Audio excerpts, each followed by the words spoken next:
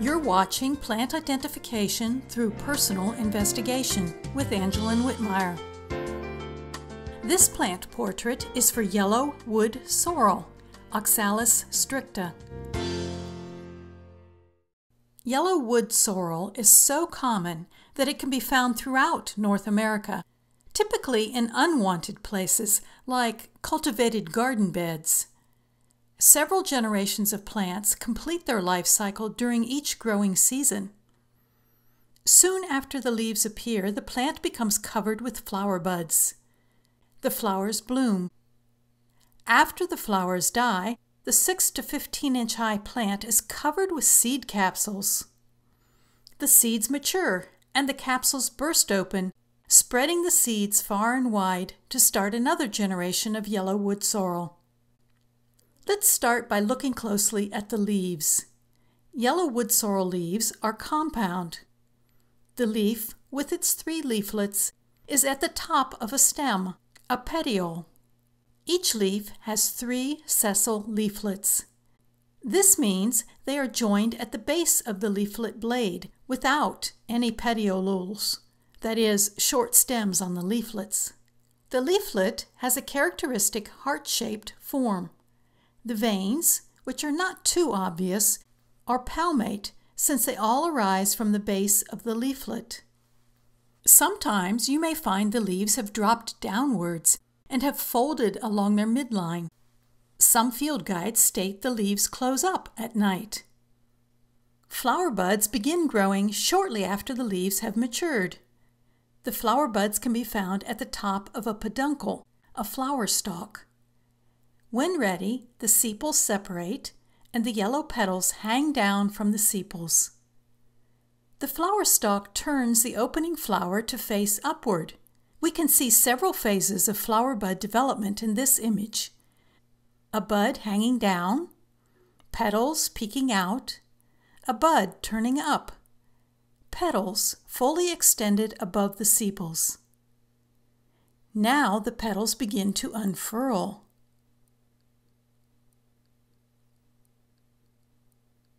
Look at the arrangement of the flowers.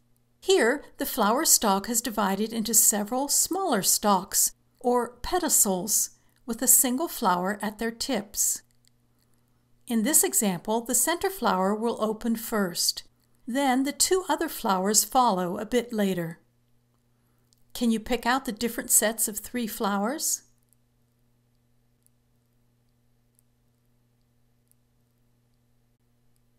Flower peduncles and pedicels rise well above the leaves. Most yellow wood sorrel flowers are bright yellow and about one half inch across. Sometimes the plant grows with a variation. These flowers are a lighter shade of yellow.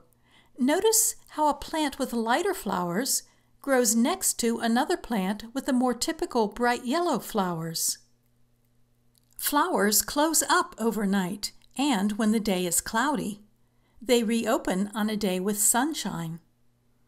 The flower has five petals, except if there's a variation, like this flower which has six petals. Observe the fine lines leading to the center of the flower, where the ten stamens can be seen surrounding the pistil. After blooming, the flower's petals twist up and dry out. Here we can see a flower bud, a flower in peak bloom, a dying flower, and a new seed capsule emerging. The green sepals now enclose a developing seed capsule. Here are a number of new seed capsules of varying lengths, pointing upwards as is characteristic of yellow wood sorrel. The dried flower petals may remain as a cap on the seed capsule for a while. This image shows pairs of seed capsules growing on the paired flower pedicels. Here's a group of three seed capsules. Trace their pedicels back to the point where the peduncle has split into the three pedicels. Usually, seed capsules have fine hairs and sometimes they don't. A single yellow wood sorrel plant may be covered with the five-sided seed capsules, which grow to be about one inch long. Eventually, the seed capsules turn from green to yellow and to brown. They then split open to explosively eject their seeds up to four feet away. I'm curious to find what the seeds are like. As I pierce the seed capsule, I can feel the seeds inside tickle my hand as they spring away from me. Each tiny red-brown seed also has a white aril that reportedly aids in seed dispersal. If we gently push the yellow wood sorrel's upper leaves out of the way, we can see the stalks. Each stalk seems to grow upward in stepwise fashion, with many splits along the way for new leaves and for new flowers. Notice the small white hairs. After the seed capsules mature, the plant dies. The stalks may turn a red color, and they flop over as they die completely. In the ground, yellow wood sorrel has a stiff rhizome with small roots along its length. This is Angeline. Thank you for watching and learning about Oxalis stricta, also known as yellow wood sorrel. Visit identifythatplant.com for more images of yellow wood sorrel, for plant identification resources, and for information about how you can confidently master the skill of correct plant identification.